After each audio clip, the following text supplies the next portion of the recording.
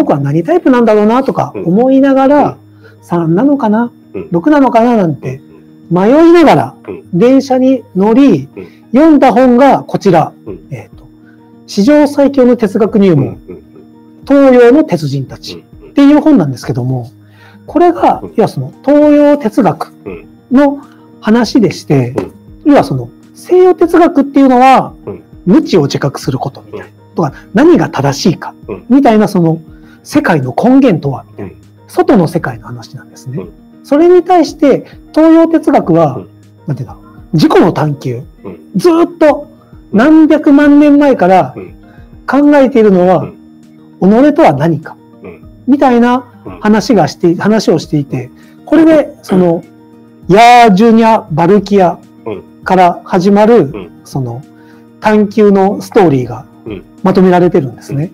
で、はじめにその、我っていうのは、認識するものを認識するもの。っていうので、いや、それってその、この認識するものを認識するものを認識するものを認識するものって、だから、初めの人は、認えっ、ー、と、我っていうのは認識できないものだよ。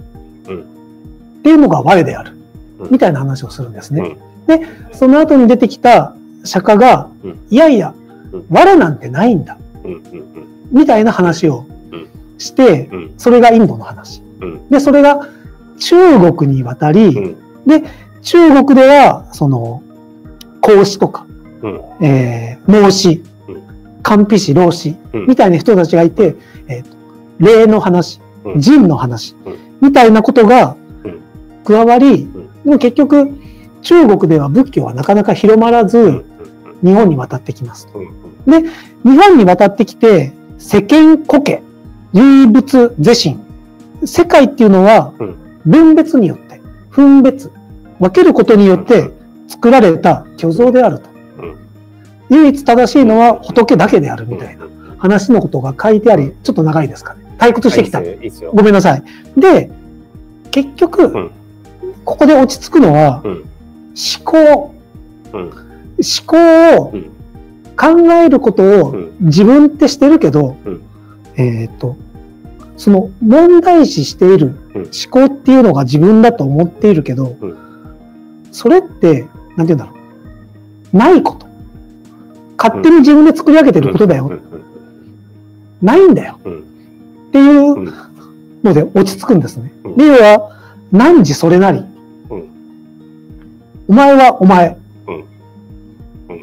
ってきたときに、ああ、もう俺なん、なんでもいいじゃん。なんでもいいですよ。虚像ですからね。そう。で、いうのを隊長が先に言っちゃったんですけどね。虚像、うん、なんかそう、お釈迦様の言葉だから、なんか結構響くんですよ。あ、で、お釈迦様から龍樹からっていろいろ、この話はまたちょっと体調これ読んでください、ね、はいはい。っていう話をどっかでまたしたいんですけども、要は、全部、この言葉で勝手に僕がまとめた話なんですよね。あ、もう、何でもいいじゃん。って、帰りの新幹線で思ったんです。読みながら。何でもいいと。実は。実は。俺は俺だと。俺は俺。っていうともう、うん、6、6でもいいと。もう、むしろ3でも6でもない。俺は俺。俺は俺。で、要は、うん、俺の、要は、広げたい翼。うんうん、別に3の翼じゃなくて、うん、別にやりたいことやりゃいいじゃん。そう。そうっすよね。で、なったのが、今回のこの東京の旅だったんですよ。だから無理に3になろうとするよりは、多分そっちですよね。自分のやりたいことはそう、そう、うん、で、ただここでね、ちょっとね、困ったことが起きたのは、やりたいことがある。で、あの、この素晴らしいエニアグラムの知恵をね、広めたいと思っている。けど、僕はタイプがわかりません。これ、OK?OK じゃないですか。僕はね、先生なんですけど、あのー、僕のタイプは分かってないんですよ。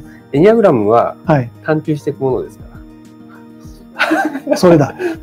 だから、えっと、まず答えの一つとして用意したのが、えっと、369。369は、どれを守ってもいいです。っていう説。か、えっと、もう、タイプなんて特定しなくていいんだよ。うん。ただ、このエニアグラムの知恵っていうのは素晴らしいと思っている。うんし、うんあの、全部の囚われを知っていると、うん。多分、どの囚われも出てくる時ってあるじゃないですか。まあ、うん、ありますよね。べきって思う時もあるし、全くないことはないですからね。やってあげなきゃって、その。バウンダリーが。解ける時もあるし、ありますしね。はい。んで、隊長どうしようと。僕はエニアグラムの知恵をうん広めたいと思っているけど、うん。自分のタイプはうん。分かってない、うん。分かってない先生ですって。っていうのは成立するんですかね？っていう話です。まあ、やりたいことやりましょうなんで、成立しますよ。これが聞きたかった。それが聞きたかったです。うん。だから僕はエニアグラムを教える。うん。それで全国を回りたいうんなんてうん思いながら、うんあの、あなたのタイプは何ですか、うん俺は俺だと。俺は俺だと。何、何タイプに見えますかと。うん。なんてね、うん。ことをうん。ちょっとやってみてもいいのかなって。うん。まあ、探求、探求しましょう。ですよねう。ん。ですよね。そうやって言いますよね。うん。そうやって言いますよね。だから、9だ9だうんって言いますけど、こう、9だって握りしめ続けるわけじゃないですか。9だ9だっていうと。だはいはいはいはい。からそれは本当は良くない。ていう9を手放しなきゃいけない。っていうとこですよね。っていう意気込みです、今。うん。だから今年やるよ。うん。その時は3の翼を生かせよ。うん。でも6のように仲間を大事にするしね。うんすべきことはするし、うん仲間を大切にするし、そ芸術的なところはちゃんと出すし、う。うん。個性。探求するし、うんっていう気持ちです。うんいやー、エニアグラムって本当素晴らしいですね。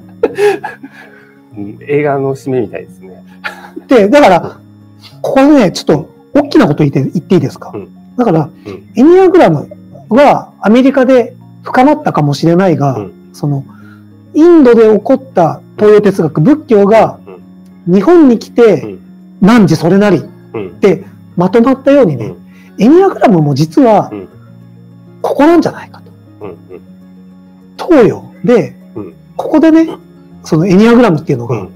出来上がるんじゃないか。うん。うん。いや、俺たちが作るんじゃないかと。新エニアグラム。新、カタカナの新エニアグラムですよ。うん。ぐらいのうん意気込みを感じてます。タイトルにしたかったぐらいですね。そう、新エニアグラム。ただ、学ぶ意味はある。うん。もちろん。うんエニアグラムを学ぶ意味はあるうん。けども、タイプをうん、これだうんって、やらなくてもいいんじゃない？やってもいい。やらなくてもいい。うん。けど、あまりにもこのうん。他のタイプの良さをうん。手放すのはもったいない。うん。なんて。そう。だから自分はこのタイプだからこうだって思っちゃいけないって話ですよね。あ。そもそもエニアグラム。あ、そうそう、確かに、確かに。あ、タイプがあるよっていうのは分かタイプってる。があるよっていうのは分かってるけど、はい。タイプ9だから平和を愛してみたいな、はいタイだだからしょうがないよねみたいな、こういう行動を取るのはしょうがないよねあ、それはもったいない。それはもったいない。っていうのは良くないですよっていう。